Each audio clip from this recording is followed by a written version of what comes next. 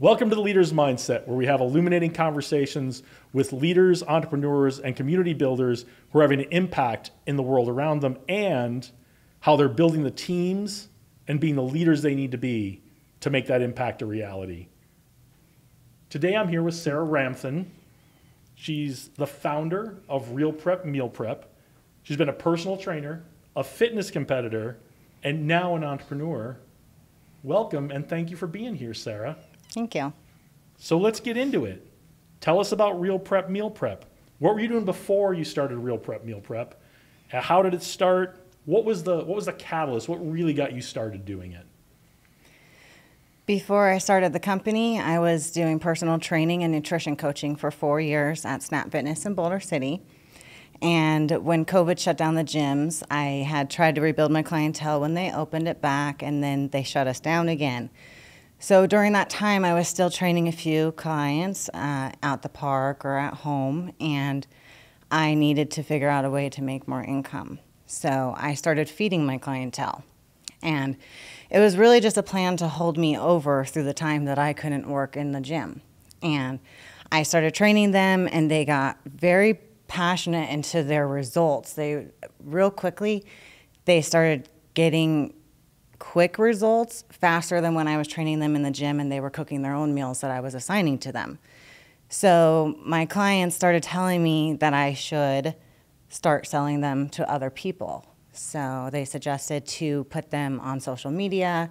Next thing I knew, I was selling to Henderson and Vegas too, and I'm from Boulder City, so I, I just kind of ventured out further and further. After that, um, uh, from October to January, I decided to legalize the business. And I got all the permits, I got all of the, the paperwork done, and I put us into a commissary kitchen come February. So again, I still wasn't sure where it was going to go. I, but I thought, well, it went well at home, and let's just give it a shot. And then from there, I really just grew the moment that I became a real company and I started really advertising on social media, posting, talking about it, sharing my own results with my own food that I now make into meals for other people. That it, it really just happened naturally and organically. I honestly don't think that I at first had the intentions of it becoming anything other than to hold me over through COVID. Um, I, I do believe that the company has chosen me over the time. Uh, I next thing I knew, I was selling to doctors, nutritionists, bodybuilders that are famous, Olympians, fighters, jujitsu artists. It, it, like the list goes on and on. And I really wanted to create a company that had no gimmicks. That was where my passion started, where I felt that I could do something different, being an athlete myself and eating at the companies that were provided to me, I would notice that my results would go backwards or my meals weren't always, you know, right dialed in, and I would start to decline in results. So when I created the company, it was a very big passion of mine to create the real deal meal prep. Yeah, I think one of the things that's super impressive is how you grew from word of mouth through social media, and now your clients span the gamut from folks who just want to eat a little better up through your athletes, which is really impressive. And then you have all these partnerships as well. Yes. And what is it that you're doing that that attracts all of these people to you? Because when you look around on social media, when you look around, there, there's dozens, if not hundreds, of people doing meal prep here in the Las Vegas Valley. What makes you special? What makes it unique about what you're doing that is attracting so much attention from people who are really serious about their meals? I think that there's a few things that make me stand out, which would be one, like I said, the gimmick free, the no, the no sugar, the no gluten, no dairy, no flour. So anybody who really knows a lot about nutrition knows right away that for fitness goals or health goals, those are going to be the first things that coaches are going to cut from your diet or even doctors. So people who are educated are going to see that and know instantly, "Ooh, I want to try that." Mm-hmm. Um, then people who don't know these things, I educate them. I talk to them. I get calls all the time, and I love to take those calls. Uh, another thing that sets me apart that I notice upon watching my other competitors is that I do this with my customers. I constantly, I'm a normal person. I go up and down in weight. I'm a female. When I'm stressed, I want to eat. I, I, I, I don't know. I'll have that movie night with my kid or my friends, and, and I just go off the rampage. And, and then the next day, I get back on. I'm right back at that treadmill and I'm right there sharing my meals.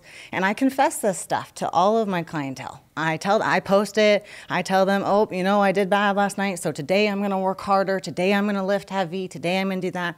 I constantly am sharing this stuff with people. So they're not only watching or getting inspired, but sometimes they're, they're learning and being educated. They constantly, I have many people who constantly comment on these things and they're like, thank you so much. I'm going to get up and go to the gym now too. Um, I'll put up there, I'll be film my cardio and I'll tell them, you know, I'm on doing my cardio. Who's with me today? And I'll get many people. They're like me, me, me, or I wasn't, but now I am. You know, and I've so seen, I've seen those comments on yeah. So, so I mean, I didn't really know that that was going to happen, but I just started sharing the lifestyle because I lived the lifestyle myself. So. I see how everybody does all these stories and all these things all day long. And I was like, maybe I should just start kind of sharing how I do this, how I did it, what I do when I mess up, what happens when I sit on the scale and I'm 10 pounds up overnight, it seems like. Even though I know it probably took me two months to get that mm-hmm. 10 pounds and the multiple choices that got me there. But I admit that. Or when holidays are coming. I always diet down with my audience during holidays to show them that when we're expecting that 10 pound weight gain, we can actually turn it into a 10 pound weight loss. And then we can really enjoy that eating of the holiday because we worked to get there.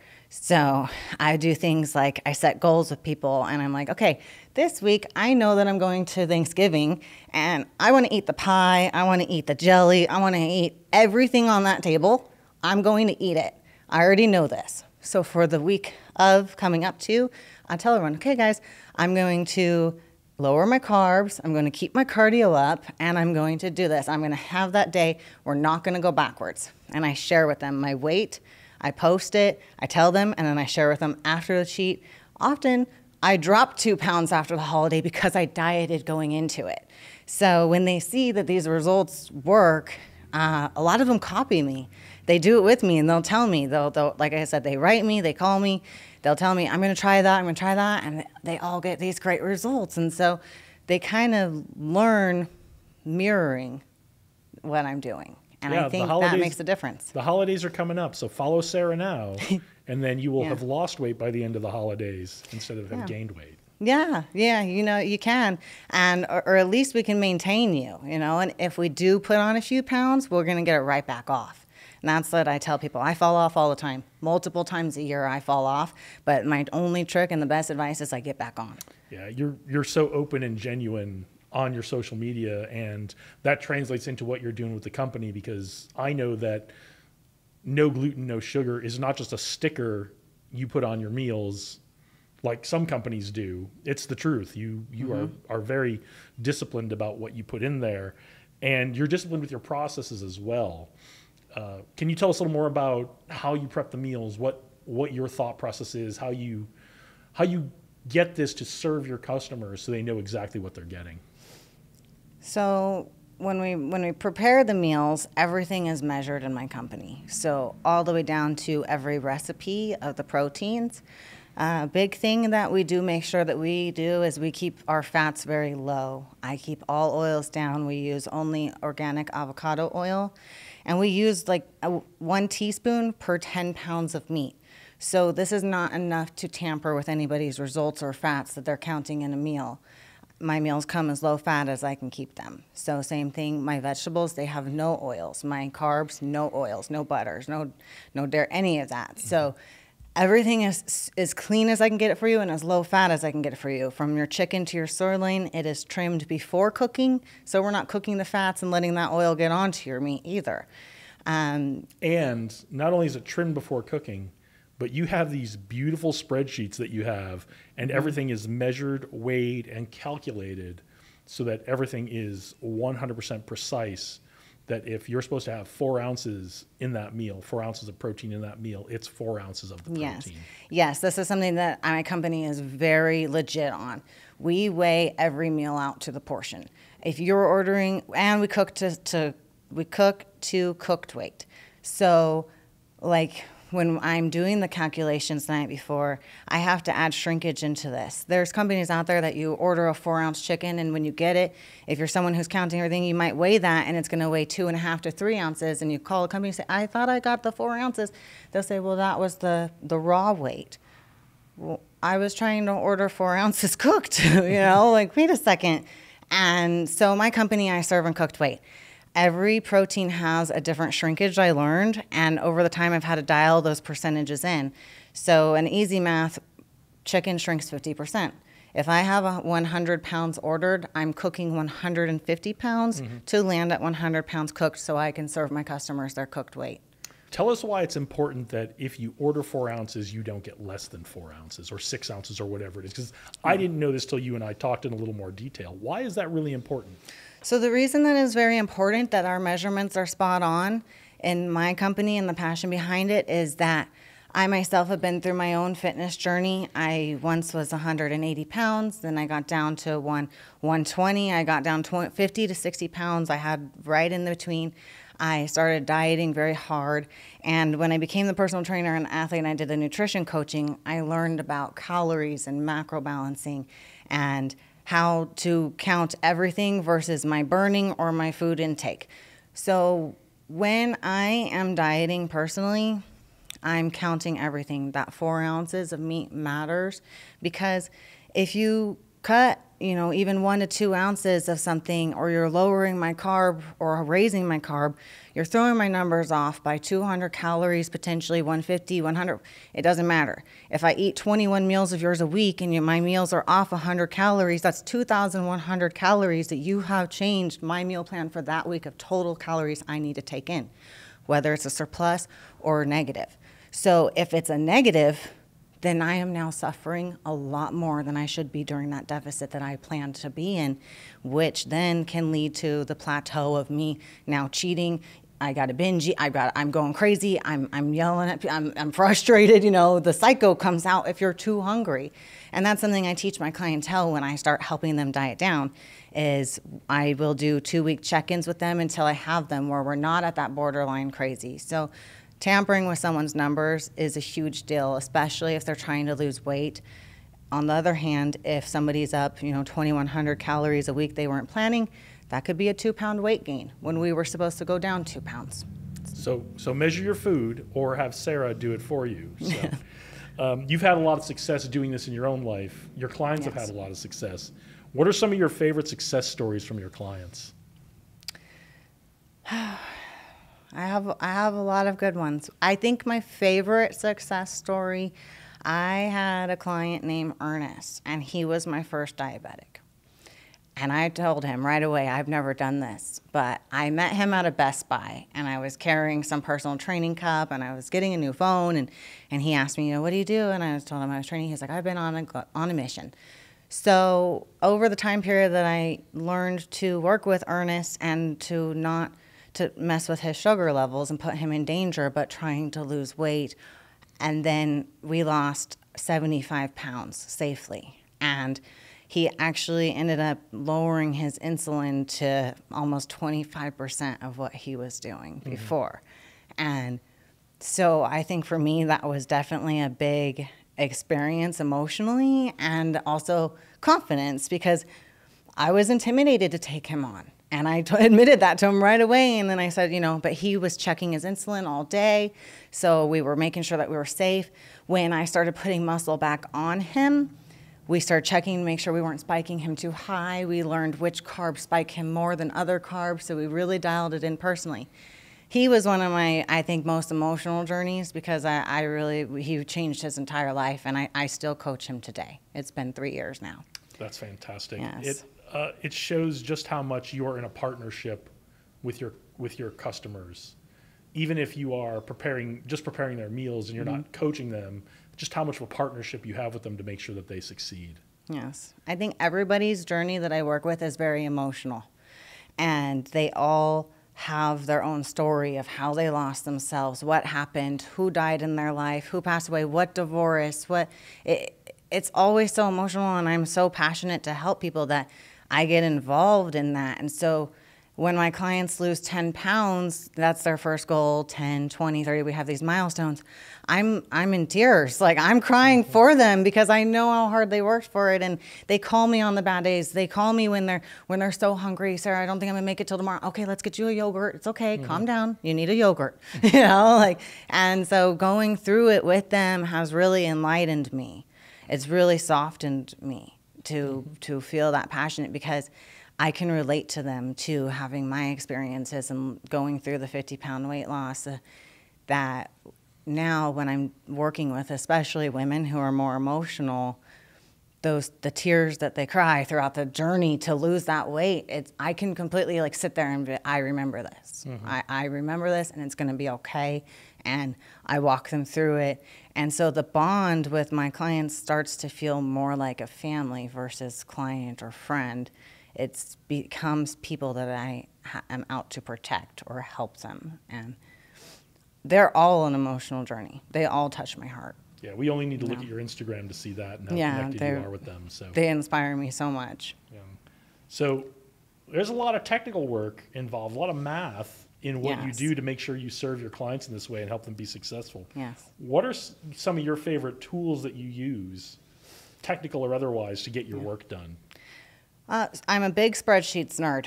I love my spreadsheets. I have spreadsheets galore, folders after folders after folders. Even like my, I have clientele that I do their strict nutrition plans where we dial and we measure everything exactly the way their coaches have written it or their doctors and dietitians. I get those onto the spreadsheets and I calculate them from there. I work back and forth with my partnerships on spreadsheets that are on these more elite plans. Mm-hmm. Then from there, yes, I do all of the math. I transfer it from my website into a sheets folder and I calculate send all the numbers, the meats, the flavors, the proteins, the carbs, the vegetables and I separate them all. I organize them all into sizes and the calculations. That is probably the hardest part of the computer work. Um, that took me a long time to learn, and even some weeks I'm still, I still need a little assistance every once in a while if I get stumped. But now I finally, going closer to two years into this, I now hired a programmer about six months ago, and he's been building me a program where now it's transferring over and it's doing the reorganizing for me. Where before I did that manually, I dragged everything and moved it because, of course, the website doesn't just send it in order for you. It comes mm-hmm. in the random order that it was ordered in. So I have to reorganize it. So that's been a big time saver. I was spending my order window closes Saturday night at 8 p.m., and I would be on the computer till midnight or 1 a.m. I know we've- We've, had some chats yes, that late and that was working. normal for a year and a half, and then I, yeah, it was it was really crazy. And so now it's gotten down to where it's about an hour of time with the system built. And, and I want to emphasize when she talks about doing all this math, we're not talking about doing this for like 10 meals. you're you're going out and you're you're building these spreadsheets because you're going out and you're you're buying hundreds of pounds of food Yes. every Sunday, mm-hmm. right? You you you need to know exactly how much you need to get. Yes, I do. I we cook serve- fresh weekly. Yeah, it's so all I buy product fresh every single week based upon my orders. So that's part of why I have the order window closing, so I can calculate it, and know what I need to purchase. There's there's not a lot of margin for error here. Otherwise, No. you're gonna you're gonna have to throw things The out. moment that there's an error, now that further in, I now have backup in the freezer. I've portioned out pounds of each protein, so if we have a shortage, boom, we can pull from the freezer. Before it turned into, gotta go, I'm running to the store, I'm gonna go get it, I'll be back. And then, you know, real quickly we realized, okay, well, that takes an hour. And so more efficiently, now I have backup proteins of everything on stock all the time. and now you're in a big commercial kitchen too. You're not mm-hmm. just doing this out of Boulder City anymore. Correct. I'm now in my second commercial kitchen. I started off at Slice Commissary on Pecos in Henderson. And that was really great. I loved it, but it was the start of my company where I didn't own everything yet. So I needed to rent. I needed to even rent pots and pans. And that was a commissary that provided everything you would need enough mm-hmm. sheet pans, everything. And you can rent it all. So I started there. It was a smaller kitchen. It was within that first year that I saw we were going to outgrow the size of the kitchen already.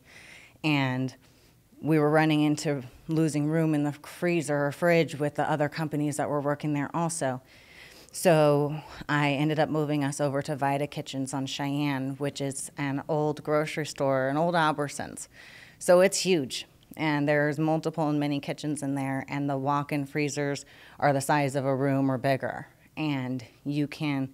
There's plenty of growth space. There's now. there's Yes, the, there's there's a good amount. I've seen. Um, I do have other companies in there too. Other meal prep companies are in there too. We're all friends. We're all family. We all give advice. We talk. Like it, it's so cool to be. That's part of like it's very inspirational to be around them because they've been there.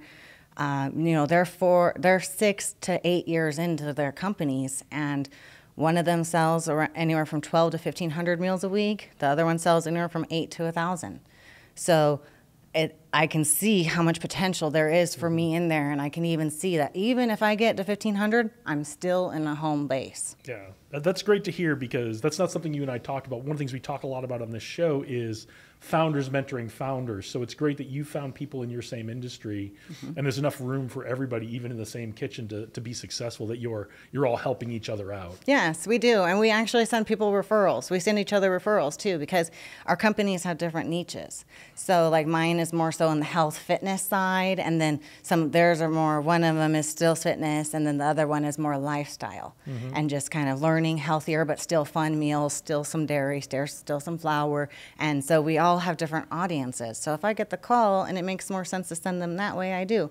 And then when they get the calls for fitness competitors or doctors or people on specific plans, they call me. The customers call me and they say, I called this person and they sent me to you. So it, it's almost, it's every few weeks that I get a call that one of those companies sent someone to me. And then I try to return the favor too. That's mm-hmm. fantastic. So what else is different about running this business than what you the kind of work you've done in the past?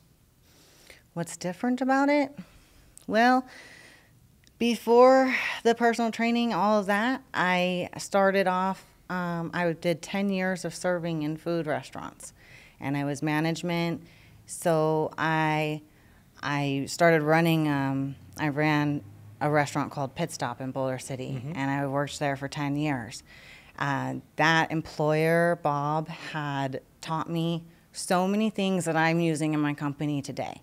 He put me in charge of the Sysco orders. He taught me how to do the banking. He taught me how to count my inventory, how to load how to pre-plan, how to order extra in case they're out next week, things like that. I, I feel like I use all of that. So it's very different now in the sense that I'm doing my own business and I really took all those years of restaurant experience with my nutrition coaching and my diet coaching or um, personal training and I put it all together to create Real Prep Meal Prep. So I guess the main difference is that instead of somebody else in charge, I'm now in charge and calling the shots, and the ideas are mine. And when my employees have ideas too, I love to talk about them and implement them too. We try all kinds of things all the time, and it's- all the time we're improving our techniques. That's great. It sounds like you had a really great mentor in the restaurant business who helped you, and now you're mentoring your team Yes. to, to be successful as well. So tell us about your team. Who's on your team? Where did you find them? Okay, so I've gone through, um, I now have been probably up to about 10 employees over this time, which I generally now have five at all times. And then I have my call in employees.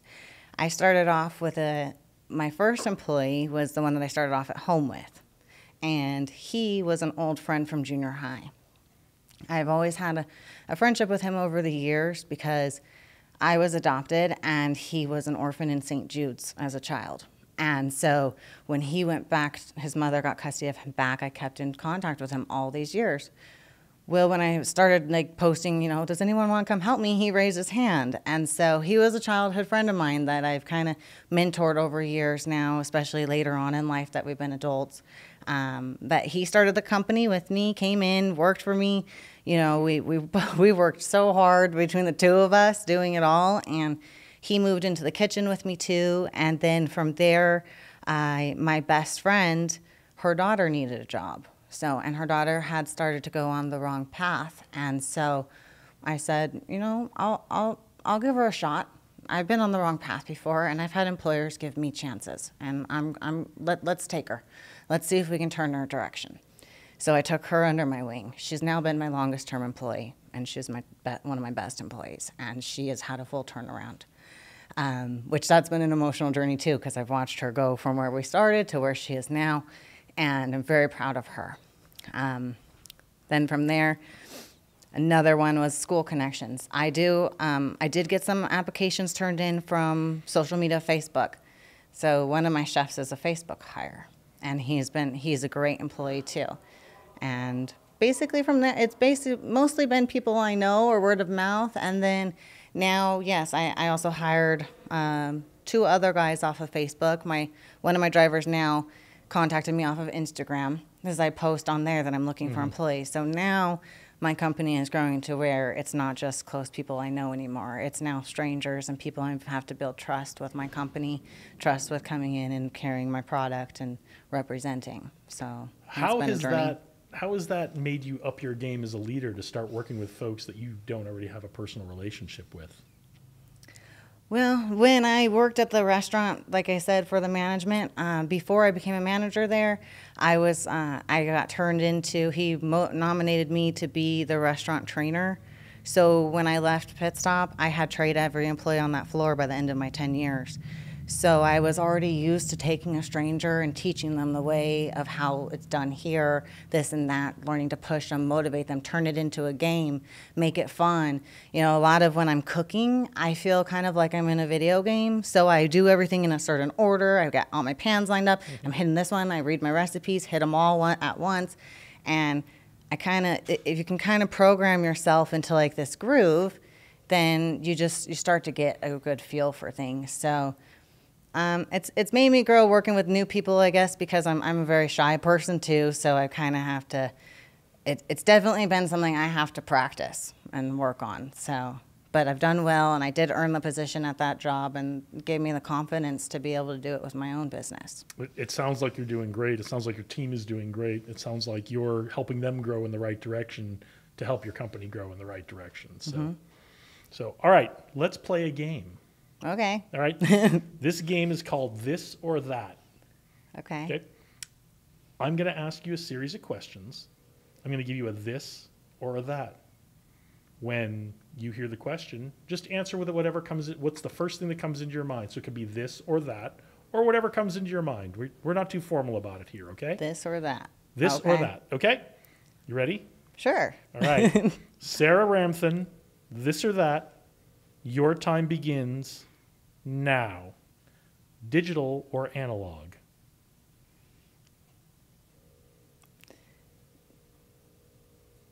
Digital. Dogs or cats?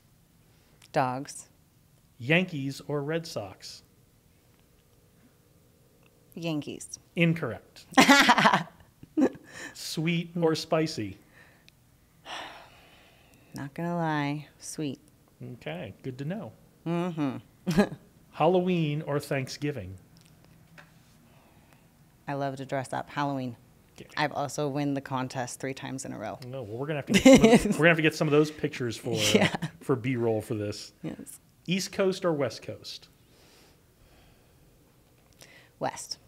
Sunrise or sunset? Sunset. Downtown or the Strip? The strip. Dress up or casual? Dress up. Instagram or TikTok? Instagram. Yeah, I thought you were gonna say that. Yeah. I tried TikTok, but I just can't get the groove. That's okay. There'll be something new in another year. So. Yeah. So we'll, we'll all get caught up with that. All right. You're so driven, you're so focused to succeed and serve your clients, but you weren't always that way. You've been through a transformation yourself. What, what, what can you tell us about that transformation and how you got to where you are today? So my transformation started about six to seven years ago, and I, I weighed about 180 pounds, and I knew that I was getting thick, and I was my thickest, and um, I was really wanting to lose 10 pounds because I had tried to lose weight before, and I just failed within like the first week, and and so I was my, surrounded by my sister and one of my friends at the time, and they were eating vegan.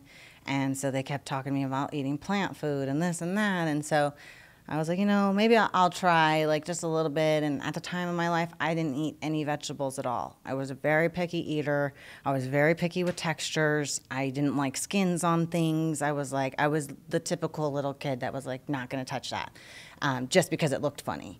Not because it tasted bad, but because I was I had like a phobia about foods and textures, and so I was weird about vegetables. Um, so I started practicing some of that plant life, and my friend was blending his, making blends, and my sister too. So I was like, I could, I could drink that. I don't really want to eat it, but I found that I could drink it. So I started off in little stages of just trying to drink my vegetables and start to eat, eat better. Then I started, I bought this garage sale bike. My son, I think at the time, was about four, and he was just learning how to ride a bike. So I was like, maybe I'll just buy a garage sale bike and ride around town. So I did. I got like this sixty dollar bike up the street, and and um, I started riding everywhere with him. And next thing I knew, I was like super motivated, and I lost that ten pounds. And then I was like, maybe I'll try to lose another ten, and uh, maybe I'll try to lose another ten. And I got all the way up to between the fifty and sixty mark. And then in that first year of my journey, I went from riding the bike and I have a swimming background from high school and I swam for 15 years for the Boulder City team. And so I was like, oh, well, maybe I'll start swimming again. And so I'm teaching my son swimming. I'm putting him in swimming lessons. So now mom's swimming with Drayden and I'm also cycling with him too. And from there, like I said, I was serving tables at that mm-hmm. time. So I had customers that would come right in on their crazy bikes, those skinny wheel tire ones, and you're like, what are these weirdos doing in those outfits? You know, you're like watching them, you're like, what is, look at these guys, and everybody's giggling at them, and they know that they look silly, they all know, and, and, they started talking to me, you know, what are you doing? Because they started know they saw that they saw from in that six months I lost that 60 pounds. They were like, what the heck is? So they started asking, what am I doing? I'm riding this garage sale bike, blah blah. And then they were like, we'll rent you a bike. Let's go on a ride. Okay. I went on this ride and I didn't know on these skinny tires. I was so scared. And I did one ride with them and I got hooked. Mm-hmm. Next thing I knew, I was in the bike shop getting my own road bike. And then I was buying Drayden a road bike too. You know, 10 miles turned into 20 miles, turned into 30 miles. My son at age six was riding his bike for 30 miles with no brakes. Uh, at that point, those that new community of friends that I had that were motivational people to me that were encouraging the fitness. They were like, Sara, you're cycling, you're swimming, you got one more thing to do, and that's running, and you should do a triathlon to finish out your one year bang. And I'm like, you guys, first off, let me tell you, I've had surgery on both Achilles tendons. I don't run. I don't. Like from here to that wall is way too far. It's gonna hurt.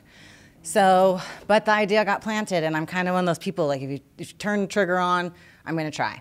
So I started running. I literally had to run street light to street light, and I would have to stop because I would be in pain in my ankles, crying sometimes because it was emotional, and I just wanted to do one mile, and I could not get my body to do it. Mm-hmm. Well, I just kept trying street light to street light to street light, and the next thing I knew, I was running one mile. Then I started joining the kids' team at my son's elementary school where they do a running program before school with the children and they earn tokens every time they do a lap. It's a stamp thing, and then when they get 100, then when they get whatever, however many miles, they earn tokens. So it was the school that I grew up in, and with my surgery, I actually had doctor's notes that excluded me from running in PE. So I actually had memories of being the timer for the mile runs. And so it was very emotional for me as an adult mm-hmm. to be back on that field. Now I'm trying to run and I'm doing it. And then I built up to one mile, two miles, five miles.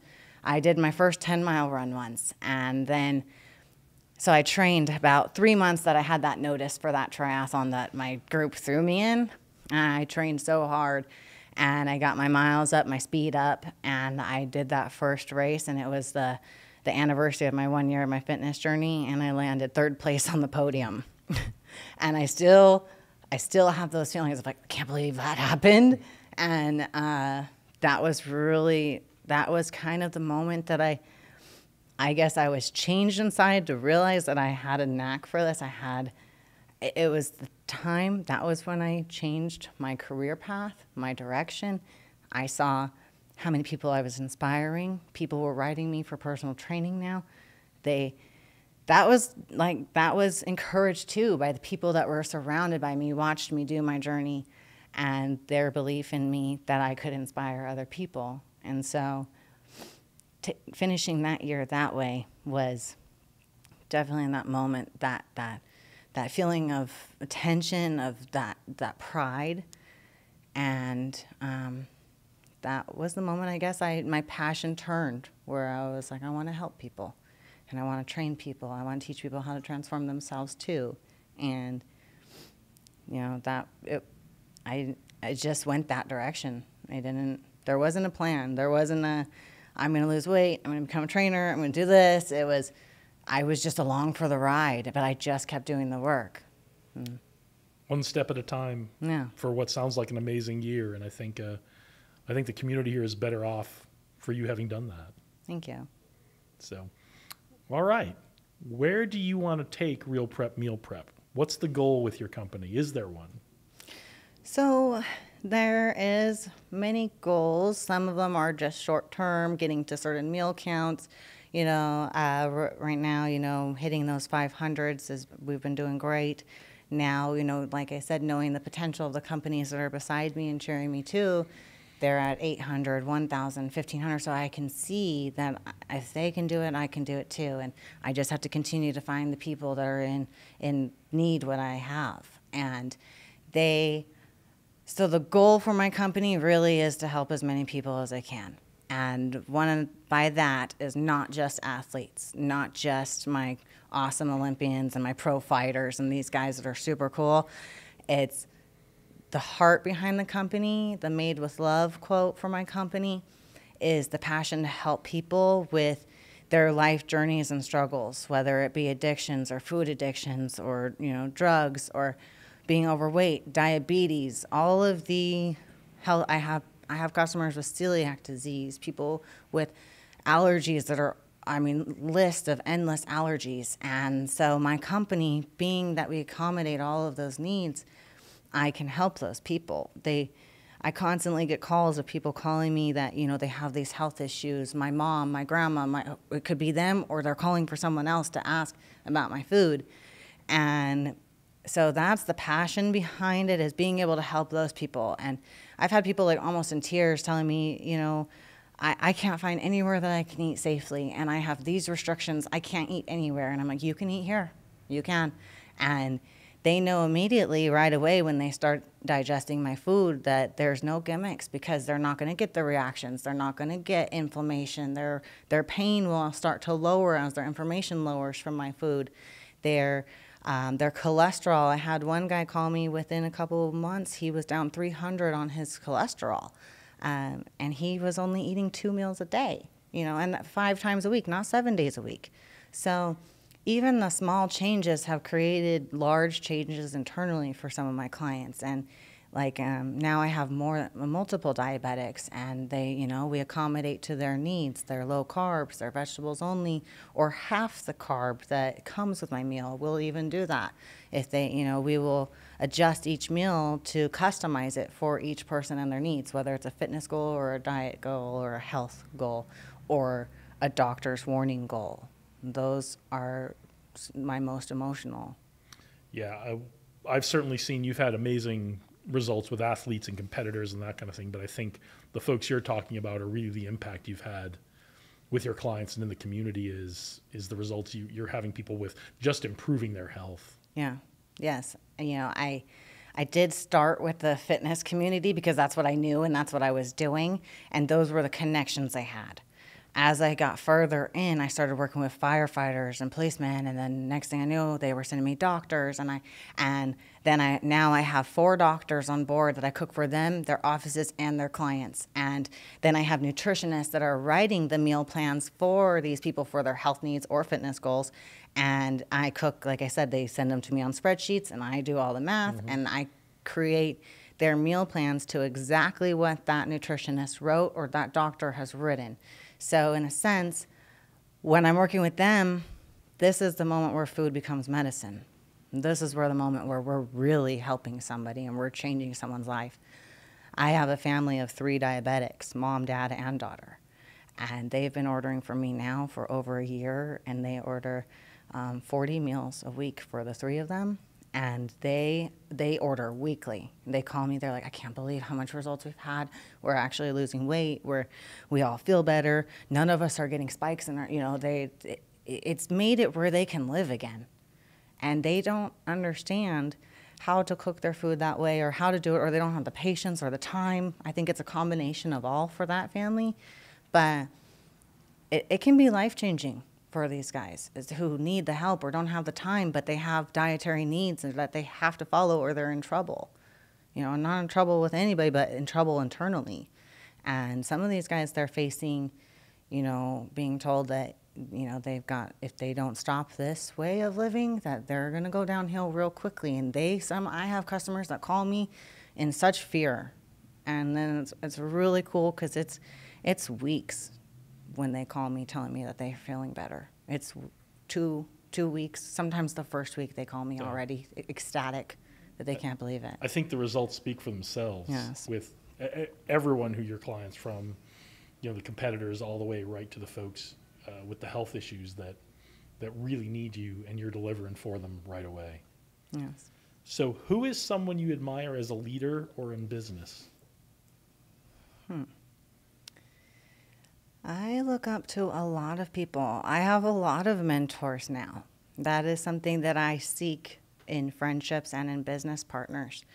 Um, I have a I have a list, so I, I don't know if I want to say one name because then I'm leaving out the other ten, but um, I do feel there is one that really stands out to me, and his name is Dana, and he is Jay Cutler's manager. Mm-hmm. And Jay Cutler is a huge phenomenon in the Olympia and has a great big name. And if you know anything about the industry, everybody knows who Jay Cutler is. And I even know who Jay Cutler yeah. is. So. And so I got a hold of Dana after I did Jay's first show, and I told him all about my products. And since then, he's kind of been a mentor for me. If I have a business struggle, I talk to him about it. He gives me ideas. He tells me about his adventures.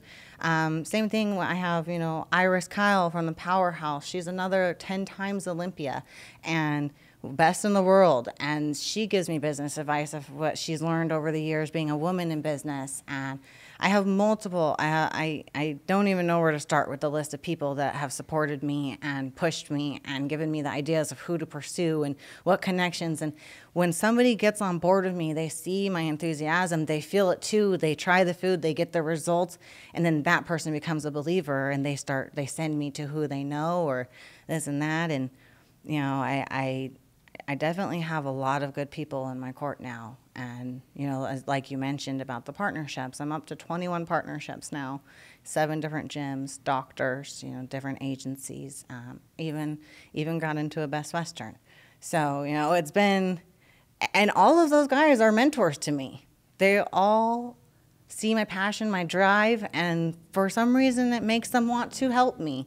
You know, I don't always ask them, like, hey, can you give me advice? But more so they, they're attracted to that. Mm-hmm. These are successful people that are attracted to people who are trying to get there too, and they see that. So I feel like I have a, a lot a lot of support from very good people. That's really great. How have your views on leading a team changed after meeting some of these mentors and what you've learned from them?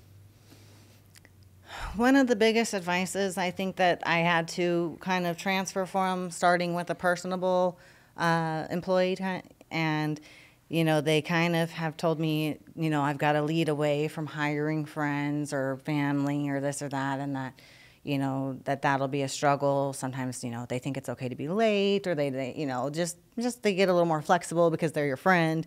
Um, so I do see that, and. Um, that that has been something I have had to work on is kind of changing that of like I'm your employer, I'm not your friend, even though I still want to be your friend. Mm-hmm. You know, like I'm like okay, so I'm like I have to find this fine balance of like, listen, I love you and I care about you, but I also have to like reprimand you if I need to. I have to also you know set you straight if we're you know if you're doing something multiple times after being told not, you know, then um, so there's all of that. That's been that's been one of the biggest things that I think I'm working on now is really separating the line of like you know, when we're in here, we're all business, mm-hmm. and that's it. You know, no outside, no this, no that. We're we're strict business. If you need to talk to me outside, of course I'll take I'll talk. You know, but that's been an interesting. It's a hard lesson for a lot of leaders to learn. Yeah. So you're not alone in that. Yeah, it's uh, it's been it working with the employees and the staff and getting them to stay or long term. That's been definitely one of the hardest challenges is getting the staff. A problem a lot of a lot of companies are having right now. What was one of the best mistakes you've ever made, and what did you learn from it? Hmm. Best mistakes I ever made. That's a hard one. I feel like they're all there. I just can't think of it, but let me try. Well, best mistake.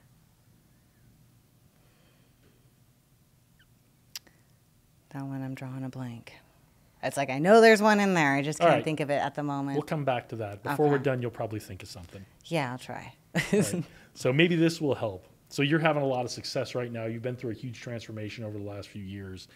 But what keeps you up at night? What are the what are the really significant challenges with your company and in your life that you're thinking about? Staff. Staff? Yeah. Staff is usually, you know, are they all going to show up in the morning? Do I need to have my backup person on call?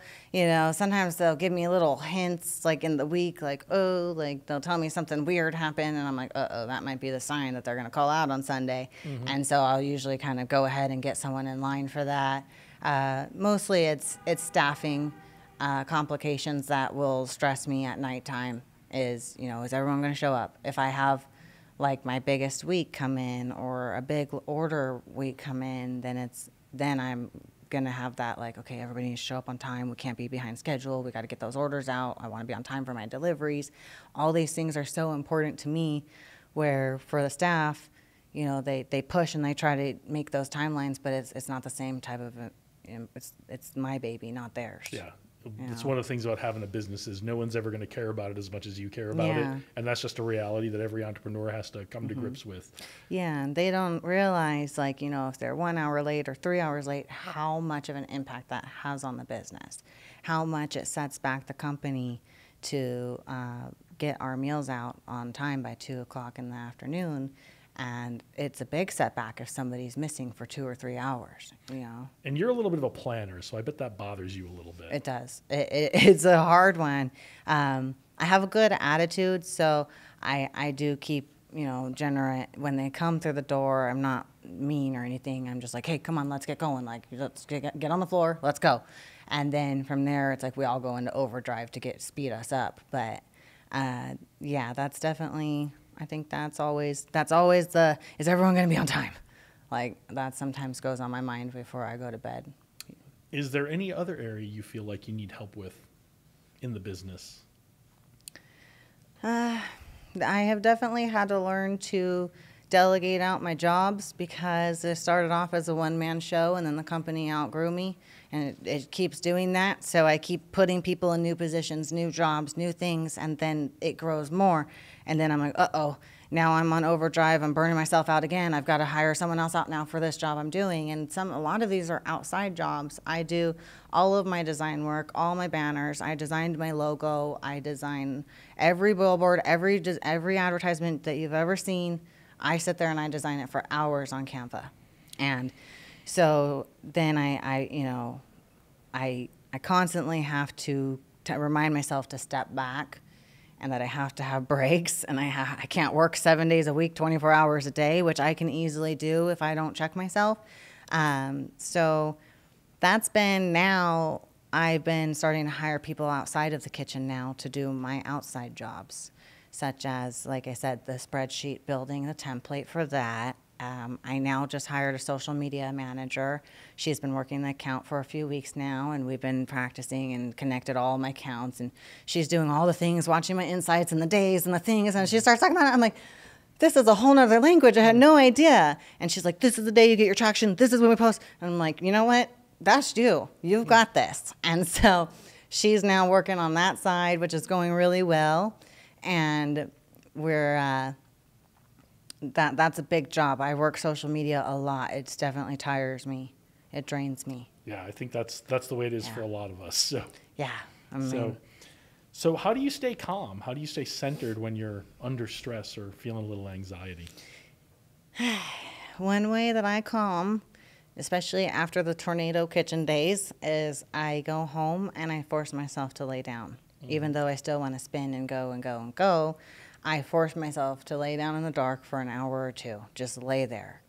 Um, you know, otherwise it, it affects my health. And this last year, you know, I, I was overworking on overdrive too much, and I, you know, had some health scares with the doctor. My my thyroid crashed, and I had to be put on thyroid medication, and my cortisol and adrenals were through the roof, which made it impossible for me to lose weight when I would keep trying, and because my hormones were off. So that was the first thing the doctor was like, you have to cut back somewhere. You have to. You need to lay down. You have to detox. You got to come down from all of this. And and I was like, okay, okay. They're like, otherwise you're just gonna, it's just gonna get worse. So for you know for the past three months, that has been a blessing in disguise. Is um, being told that from the doctor and has forced me to take the step backs that I needed so I can propel the company, such as even now I don't stay all day in the kitchen anymore.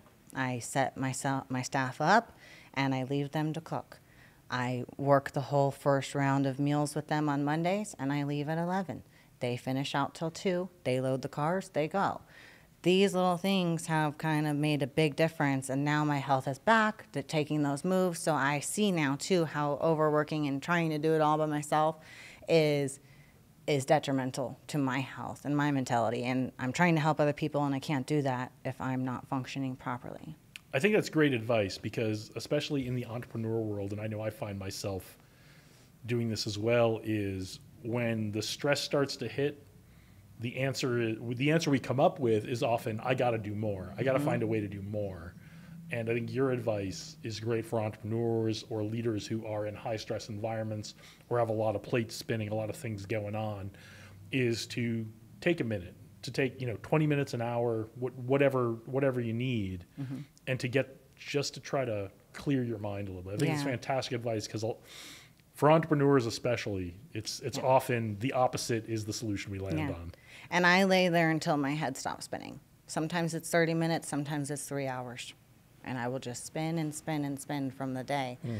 And then the other thing I do is I go to the gym. That's my other stress relief. I kind of had a feeling that was in your in yeah. Your quiver. So that's another one. I, I do go to the gym. I stretch. I do my cardio. I do my lift my weightlifting, and then I do yoga sometimes too. If I'm really having a day and I need to hear the sounds and the mm-hmm. darkness and the whole thing, like sometimes I need the extra. So I kind of just I just do those. There, I have a few of those me things, and I make sure that I do them because when I stop doing them, then I don't become happy, and then my goals start to fall down, and then, like I said, I, I can't help anyone when I'm not being my best self. So I have to remember to love me first, and that's hard because I love everyone else so much that I will toss me to the side. Mm-hmm.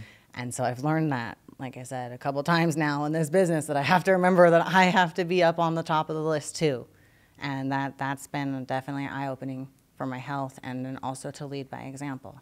That's great advice. So, what is coming up for Real Prep Meal Prep and for Sara? What What are you excited about that's coming up?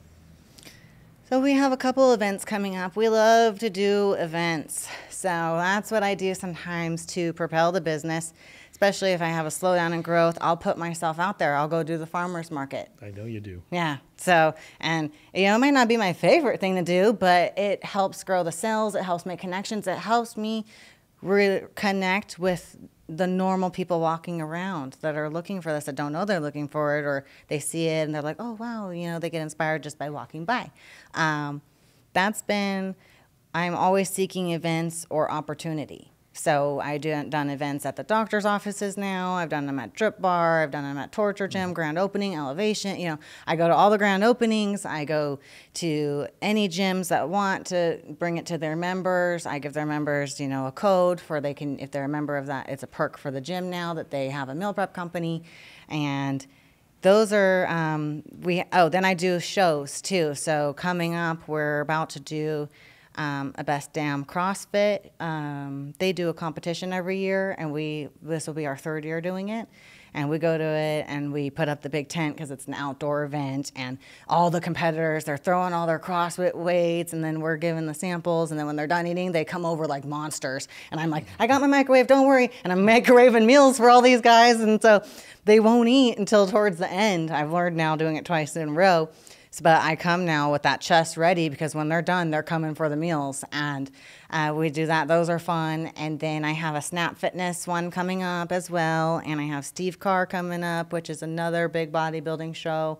And I have the Samson show and Cutler. They are all coming up, boom, boom, boom, real shortly here. All right. Well, we'll get we'll get stuff linked up so people can find out where they can come and see you mm-hmm. if they uh, if they want to see yeah. you and taste some of what you what you've cooked. So. Yeah. All right, I have a couple more questions for you, but I'd like to take care of the, the administrative stuff before we get into the last couple questions. So, is there anything else we should know about Sara Ramthun and Real Prep Meal Prep? Mm, I think you covered most of the most of the things. I think we covered a lot. So yeah, I don't think I I don't feel like I have anything inside me that I was wishing you Okay. well, I always want to give you a chance. So, where can everyone find Real Prep Meal Prep? Where can they find you? So the the location that we're at is on Cheyenne, uh, 1030 Cheyenne, and we're centered behind the reef business in front of us. They're on the back side. Then um, generally, I'm online. So through my Instagram, Real Prep Meal Prep, or Facebook, Real Prep Meal Prep is how many new customers will contact me. Uh, my number, every every way to contact me is on my website as well, realprepmealprep.net. And we, most of the times people call. Honestly, I think I get more phone calls than I do emails, which I prefer anyways. Usually, if I get an email, I return it with a call because mm-hmm. I like to give the personability. I like to show someone that my company cares for them. I, you know, they'll write me, I have this and I have that, and I'm like, this is a phone call. I'm not going to write yeah. this person back. There's no way. And it, it so I just like, call them. It sounds like something needs a little personal touch to make sure you're yeah. really serving them. Mm-hmm. Yeah, I like to talk to them. I like to hear their stories, and I love when they call me back too in a week or two, and they're like, "Oh my gosh, I'm dropping weight now," and they couldn't lose weight before, and you know all of the things. It's it's very personable, and I think the phone calls. I, I always take the phone calls. Like those are my favorite. That's great. What is someone? Who is someone, or what is something you're grateful for? Definitely my son. My son he he's my biggest inspiration. He changed my life and he saved my life and I have a commitment and promise that I made to him. And that is uh, behind that is my own personal background and his experiences and my experiences that had led me into changing my life and turning it around and wanting to help other people instead of being destructive. Because I, before these years and my son, I lived in a more destructive life and I was an angry child with my adoption. So, my biggest inspiration is my son and changing the patterns that I grew up in as a child and the things that I went through and making sure that I make some of those things right in my heart for him. Um, so I would say Drayden is my biggest motivation. I can tell that when, when we look at your Instagram, we can see how much how big a part of your life he is and how big a part of his life you yeah. are. And how much fun you guys are having together, and you've even got him helping out with the business, and mm-hmm. he he just always seems so excited to to be involved with what yeah. you're doing. So yeah, he's he's definitely like my mini me. He, we do everything we we work out together. Like I said, we did the swimming, the cycling. If he does a sport, I join it. I don't, I don't even always know what I'm doing, but mm. but I try, and he loves it. And I coach him, even if I don't really know. I'll read the rules of the sport, and I'll teach him the stuff that he needs to know. And um, yes, he I did bring him into the business this summer. He turned 13 years old, and the Southern Nevada Health District allows uh, you to work your immediate family at the age of 13 in the kitchen, and although he's not allowed to touch the ovens, but he can do the prep work. He comes, so for the summer, he worked the Sunday and Mondays, and he would come in and he would peel potatoes, is the first job I started teaching him. Then I bought him these cutting gloves that have metal in them so you can't cut through the glove. Mm-hmm. Then I started teaching him how to chop the potatoes. And I got the gloves so if his knife slips, it's not going to go right through his hand. And so we made it very safe for him to learn how to chop hard potatoes that for his little size he mm. could be mm. putting his whole body because yeah. mom i can't get it through you know and i'm like okay like so and then i've taught him how to kind of put the oomph in there mm-hmm. and now he's cutting all his potatoes but these yams that we're working with some of them are they're big and they're hard and so from there he um, then he learned how to do the rice so he starts the jasmine rice the brown rice he knows how to pour it on the pans now safely and he one of his favorite things and i think it is part of um, I'm a very intricate person and I get very dialed in if I'm focused on something. Like if when I'm even when if I'm cutting an onion, it's like very um, what was the word? The where oh, I can't think of the word right now. But it's very oh, it's right there. So when I it's peaceful. Like it's I feel very like in the zone. So I noticed that with him too. He likes to trim the sirloin. I don't know why, but he has he gets joy out of getting all the fat off mm-hmm. and then cutting it into perfect cubes. And so every time we come in, he's like, "Mom, can I please chop the sirloin?" So he gets his potatoes. He, so now it makes him faster at that because I'm like, well, you have to get to it before Edgar gets to it. So now he races through, gets his potatoes, da da da da. So now he's like the super efficient worker. He's super cool to watch on the floor because he's everywhere and he's like just this little mini beast on the floor. And he chops the sirloin and then, and then on Mondays I started bringing him in he was already familiar with weighing food on scales because I've been doing that for years for mm-hmm. myself. So, and he used to help me when he was little too. He would sit there and weigh my meats with me, and we would do it together. And we would, you know, we started making him mini meals and whatnot. And um, that's how.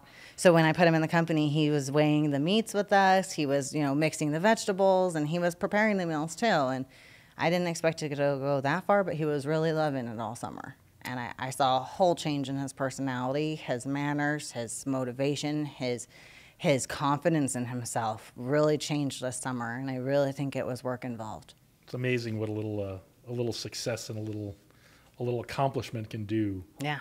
To to turn the amount of responsibility that I can see he now he's more like I got this, you yeah. know, versus kind of like quiet and shy. He's more confident. Excellent. Mm-hmm. What advice would you give to future leaders, especially young women who are starting or thinking about starting a business? My advice to give to anybody is if you have a passion inside of you that you know is something you want to do and pursue and you don't care what it takes to get there is to do it even if you don't have the money you start small you start mini you start at home you know you you, you don't have you don't have to have the full plan in place. You have to have the footsteps in place one step after another. So i think my biggest advice would be if you have a passion and a niche for something that you really want to do do it. And don't be afraid. And then every time there's an opportunity you jump on it. It's scary you know um, I take risks all the time. I don't always know if it's going to work. I invest in things. It may or may not come back, but I, I think somewhere in the big picture it comes back. But you know that's that's the biggest thing is um, the opportunity. Seek opportunity. It does not come to you. It, it, may sometimes, you know, someone might notice you and pick you up and come and say, you know, we want to do this or do that or highlight your company okay, you know, I've had a couple of instances like that, but a lot of them I have seek myself. I have pursued those relationships. I I reached out to Iris Kyle. I walked up to her at the show and said, "Please let me feed you. I promise you I know what I'm doing." And she was looking at me, uh, "Let me prove it to you." So she did. She said, "Okay." All right, like you know, she asked me all the questions. I told her I could do it, and I did it. And now I've been feeding her going on two years. Um, and her clients at her gym. You know, same thing with all of those guys. I've had to prove myself to them. So when you believe so strongly in something, you, even if you're afraid to walk up and tell someone, you still just do it. I, even if you're shaking, even if you're crying inside because you're panicking, like just do it. And that's that has been the biggest growth for me through this company is being brave. You know, even on the way to this talk, I was in the car. I had to self talk to myself. I had to prepare myself emotionally. Uh, you know, it's scary. And it's there's a lot of facing your fears when it comes to believing in your product and chasing it. Well, you've been fabulous today. Thank you. Thank you for being here. I, I, I knew you were nervous about this because we talked, but hmm. I would never know you were nervous about this watching you on camera here today. And I hope we get to see more of you on camera and, and have you do more speaking. But I want to thank you for being here today. This has been wonderful. So much, so much insight Yes. for us. So Thank you for having me. I also want to thank Litigation Discovery Group for allowing us to use part of their space as our studio today. And thank all of you for watching The Leader's Mindset. Whatever you're going to go do today, make sure you have an impact.